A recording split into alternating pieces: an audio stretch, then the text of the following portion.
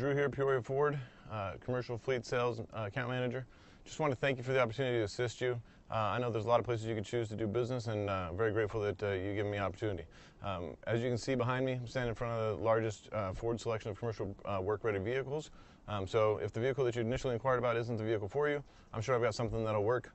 Here's a quick video on the vehicle you inquired about.